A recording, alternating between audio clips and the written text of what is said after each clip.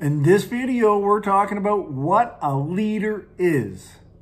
We are not getting into the rights of wrong of their agenda, but we're going to talk about a little, little barbecue pit here in Toronto, Ontario, Canada. Now, this barbecue is run by Adam Skelly. Adam went on Instagram and said, well, first, heads up. Toronto and the area have gone on another, their second lockdown. Um, but Adam went on Instagram and said, I'm not shutting down my restaurant. We are going to remain open.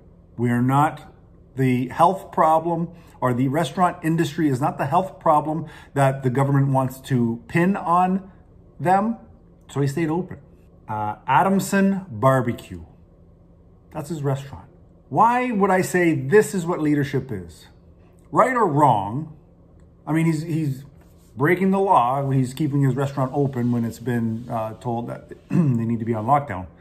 But he's showing great leadership because listen, this is his livelihood. As a leader, sometimes it's sink or swim, fight or flight. He has made a decision. Right or wrong, he has made a decision. He can't run a restaurant if there's nobody coming in and if the government's forcing them to close.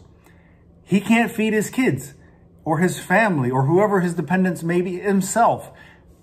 Can't feed that when there's no money coming in. What about his employees? Restaurant industry, you know, it's it's a check to check kind of thing. Like you're a cook there, you're probably not making big bucks. You're a server there, you're relying on the tips. Government's not, not covering that.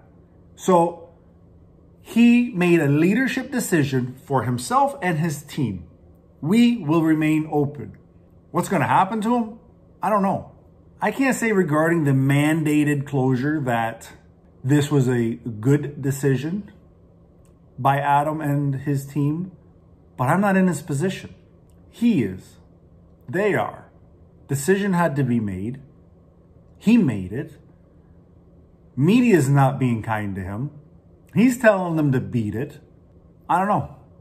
If you ask me, right or wrong, this is a sign of leadership because he's made a decision, he's chosen a direction, and he's moving with it. He's not being swayed. He's not being bullied. he might be paying some fines, but he's doing it.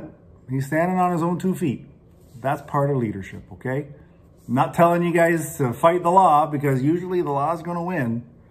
But there's a saying, if you stand for nothing, you're going to fall for anything.